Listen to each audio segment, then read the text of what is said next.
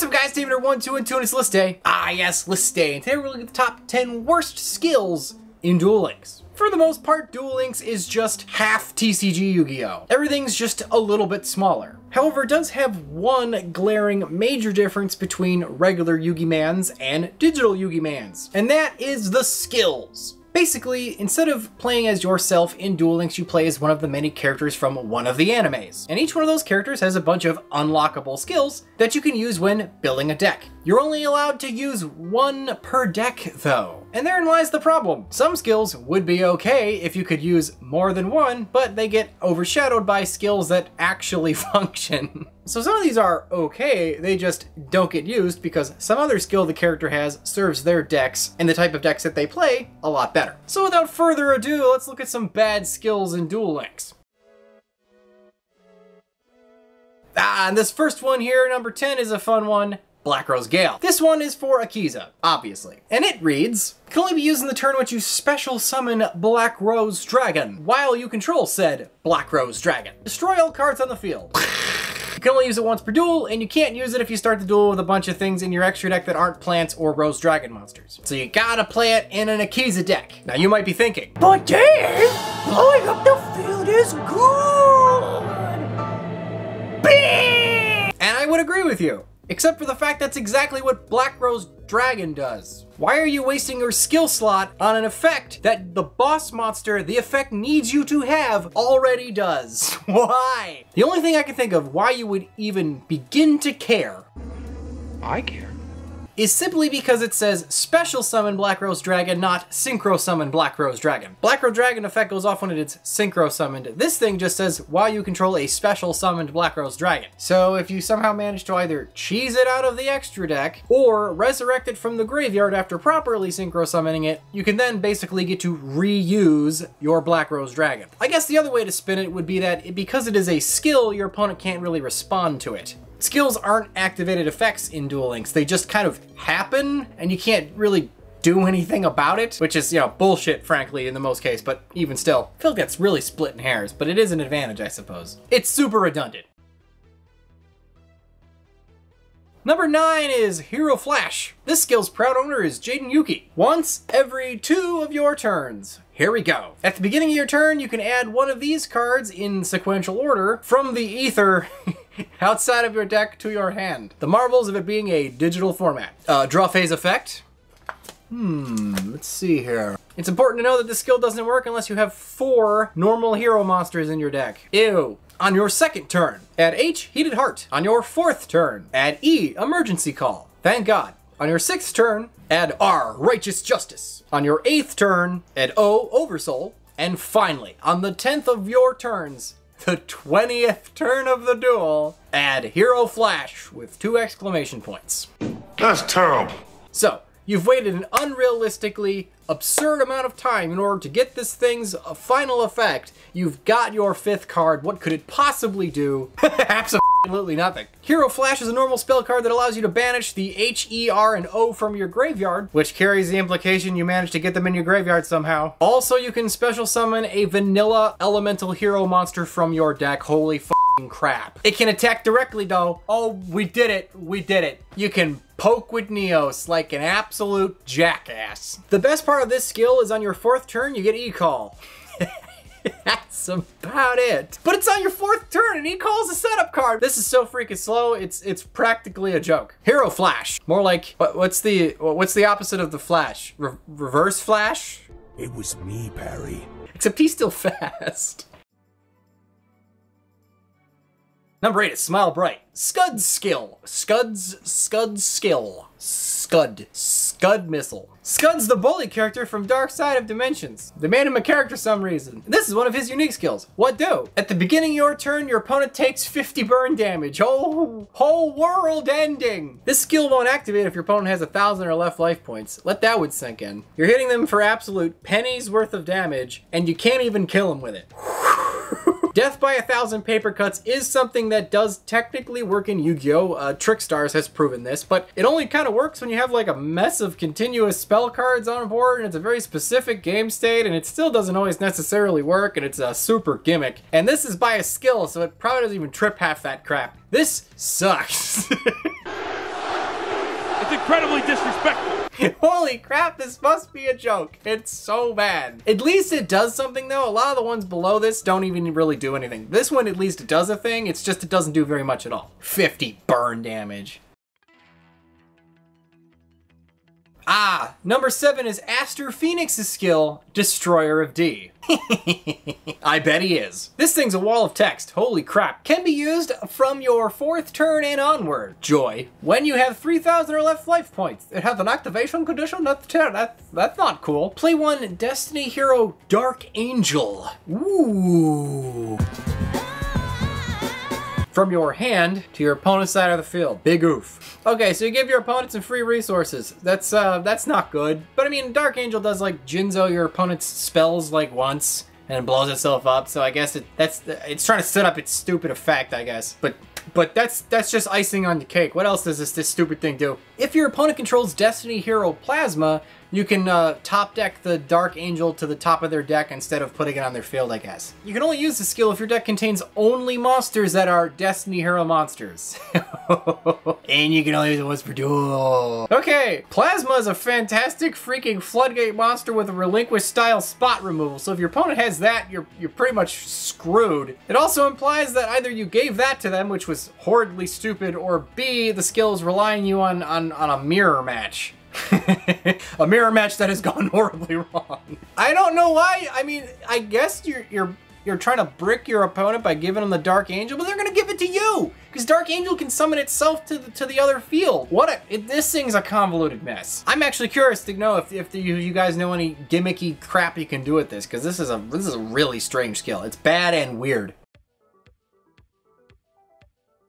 Alright kids, I think we're out of the forest. The rest of these are just terrible. They're not even interesting bad. Gem Dragon Go! Mokuba! Dark Side of Dimensions Mokuba, specifically. Fucking idiot. If your deck contains three or more of the monsters listed below, you will have improved chances of having a normal monster in your opening hand. Joy of joys. And it's the Gem Dragons. You got, oh boy, Hyozan Luster Dragon 1 and 2, and Alexandrite Dragon. Rest in peace, Labradoodle. Okay, so you need to run a bunch of normals so that you have an increased chance of, of opening normals. I'm going to add a bunch of normals to my deck so that I have increased chance of opening normals. I, I hope that sounds as redundant to you people as it does to me. But sure, you get doubly the chance of, of bricking your hand with your stupid Alexandrite Dragon. Why? Are you having a stroke? Nah, this is just if you if you play a bunch of bricks, you have a good chance of opening your bricks. nice. Um. Alexandrite Dragon's a 2K beater, I guess. You got me there. Number five, Rolling Boost. This one's got Joey Wheeler and Duke Devlin. It's not just one character this time. That's neat. Can be used each time your life points decrease by 2,000. Reveal one monster in your hand to your opponent and then roll a die. The level of the monster revealed becomes the die result until the end of the turn. Nice, I can normal summon my Red Eyes Black Dragon or Orgoth the Relentless. Holy freaking crap. This is gonna go one of two ways. It's either gonna turn a normal summonable level 4 into a level 6 and then you bricked yourself, or you can turn like a level 6 into a level 4 or lower. Probably the function of the skill. How about you don't just play things you can't summon? Why would you say something so controversial yet so brave? Granted, in a pinch, it'd be nice, I guess. I guess the weirdest part about it is it's introducing an element of RNG in order to unbrick yourself, which is, uh, if it doesn't work, it, it, doesn't help. What a waste. And you gotta be, you gotta take a bunch of damage in order to use it, so you're in a losing position, so you better, it better damn well freaking work. Oh man, why can't Gamble be good in Yu-Gi-Oh? It's, even the skills stink. Speaking of which, number four is the Last Gamble, again, Joey Wheeler. Can be used from turn 7 onward. Damn it, you! My skills blow! Reduce your life points to 100. Shuffle two cards from your hand into your deck, then roll a die. Draw cards equal to the result. Can only use it once per duel. Alright, well, okay, so by turn 7, if you haven't lost, something's gone seriously wrong or you're stalling. And if you didn't lose by then, reducing your life points to 100 is certainly going to make it more likely that you lose next turn, certainly. And you need to go super minus for a shot at going plus. However, it is called Last Gamble, So uh, it's at least on brand. I gotta give it that. And anyone who's late for registration will be disqualified. Mokuba, make sure Wheeler's late. It would certainly be an absolute upset if it went off though, and you got like six cards. Alright, that's it. The rest of them aren't even fun anymore. Number three, Card Shuffle. Card Shuffle's Arkana's skill, because the guy on the on the card card shuffle kinda looks like him. What do? Pay 300 light points to shuffle your f***ing deck. You can only use it once per turn. Why? It's a waste of life points. It's a waste of life points. Its best function would be if you have a card that like needs you to like I don't know, do a thing with life points to be at a certain thing. And this is just a really easy way to, like, at will manipulate your life points, I guess. Shuffling your deck is not good in Yu-Gi-Oh! Most search cards allow you to shuffle your deck and get you a thing. Shuffling your deck is actually not even the point of the card. If you feel that you need to shuffle your deck because you keep drawing poorly, that just means your deck is bad. You wouldn't be drawing bricks if you built it right. And even if for some reason that wasn't true, shuffling your deck doesn't change the odds of drawing the next brick. That's not how it works. Unless you know what your next card is, that's not how that works. The only time you'd ever want to at will shuffle your deck is if you're playing against, I don't know, spirals. And you know what? It's Duel Links. You're not. And even then, that's still bad. what a joke. Here we go, number two, draw pass. draw sense pass. During the draw phase, instead of conducting your normal draw, gain 300 life points instead. You can only use this three times per duel. Skipping your normal draw for any amount of life points would be bad. For 300 life points is comical. Draw your last pathetic card so I can end this, Yugi. My grandpa's deck has no pathetic cards, Kaiba, but it does contain. Ah! What are they gonna do for you, baby? What are they gonna do? Oh no, I'm a gonna lose. I need 300 life points not to lose. Instead of, I don't know, the next card in my deck that might help. Ooh, what? Normally I'm pretty resilient against this stuff, but uh, this is confounding. I am perplexed, bamboozled, vexed, bemused even. What is this for? and the best part about it, it's like almost every character has this. So like, they really think we want this as an option. We don't. No one in the history of Yugi Mans has ever used this skill. The skill is terrible. How is there even one worse than this? All right, we do have a dishonorable mention. I don't know how. Uh, other than there's just a million skills in this game, so one of them has to be the 11th bad one. You don't deserve to exist in my world. It's a freaking sentence. Choose one monster in the field that's equipped with an opponent's equipped spell that has a thousand or more additional attack power than its original, and send it to another dimension. I am not kidding. That's what it says.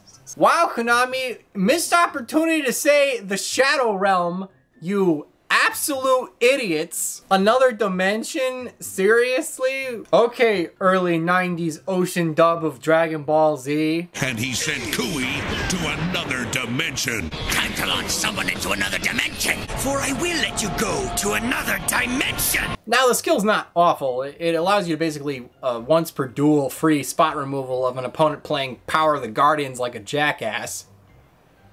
But uh, I couldn't pass up a chance to make fun of that other dimension text. That's really cheesy. Who wrote that? Today's sponsor is your playmat. Like literally, the one that you currently own. Thank you, Steve's Playmat. Nah, I'm just kidding. It's your playmat, the, the name of the website. If you guys want custom card sleeves, link in the description below. Upload your image, get your get your get your cost sleeves. They're cool. I gotta get some nifty Melffy ones for Amanda. Alright boys, what could possibly be worse than skipping your draw phase or just randomly shuffling your deck for no reason? Life point boost omega. Again, like every character can learn this. Increase your starting life by 5,000. Wow, that's more than double. Reduces your opening hand by four. Whoa, wait a sec.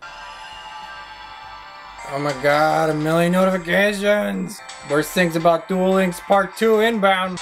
Yeah, you start with four. Were they worth it? Was the 9,000 life points worth opening with literally no cards? Would that ever be worth it? Your opponent would have to literally do nothing for like three turns before this was worth it. Because you are top decking the first turn of the duel. If you're going second. that better be freaking pot of greed. And even then, you would have been better off just having an opening hand and regular life points like everyone else in the game. They're all perfectly fine. Hell, they're all beating you. Life points don't freaking matter. That's right. The points don't matter, just like a congressman from Rhode Island. wow, we seem to have the entire state of Rhode Island. No, I'm not skipping my draw phase for freaking 300. No, I'm not opening with nothing for 9k. Holy freaking shit, you'd have to draw into like that stupid leaf card into another one of the leaves. And that's still not even good. But Dave!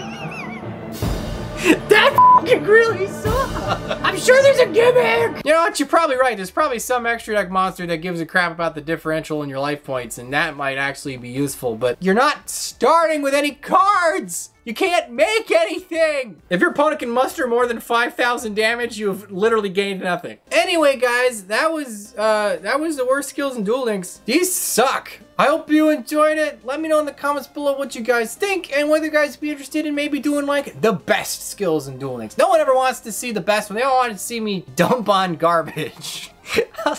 anyway, guys, if you don't troll the video, I'll see you guys next time. Just a quick special thank you to all my supporters over on Patreon. You guys make the whole channel possible. You guys have no idea how much it means to me that you guys do that.